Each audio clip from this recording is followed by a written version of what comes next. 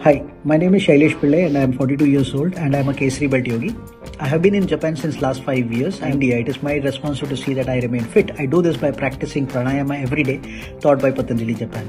I see an overall improvement in my mental and physical health on the on every day that I perform yoga.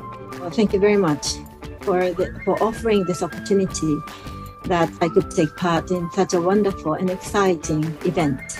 It's all because of um, the experienced teachers that I can continue